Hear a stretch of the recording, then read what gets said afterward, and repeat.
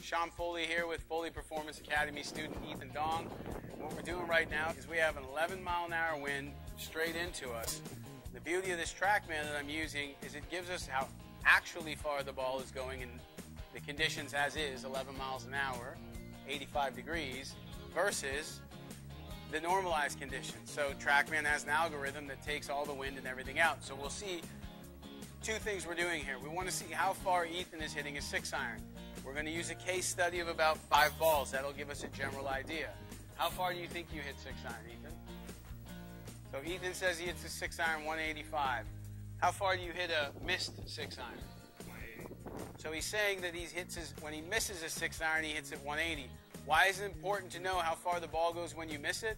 It's important because you're going to miss a lot of shots, and in order to manage using the right club and determining the right shot, you have to bring that into play. So Ethan, go ahead. At that blue flag, we're going to hit five six irons.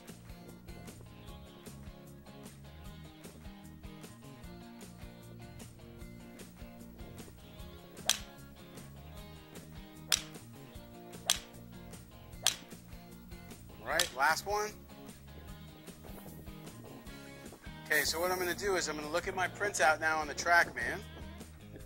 And as I can see,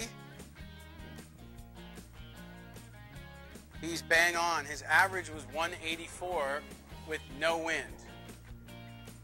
And the average was 156 with an 11 mile an hour wind. So this is key to shooting lower scores. Know how far you're hitting it. Know how far the ball is going in the wind.